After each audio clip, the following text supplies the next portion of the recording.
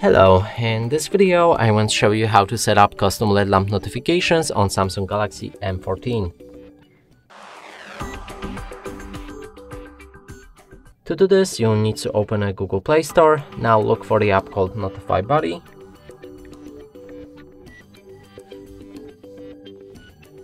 Select it and then tap on the install.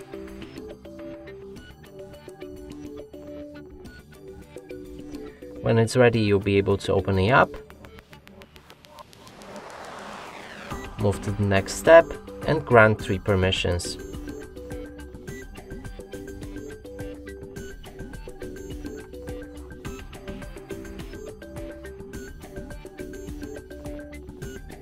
Last right here is battery optimization and we can skip it.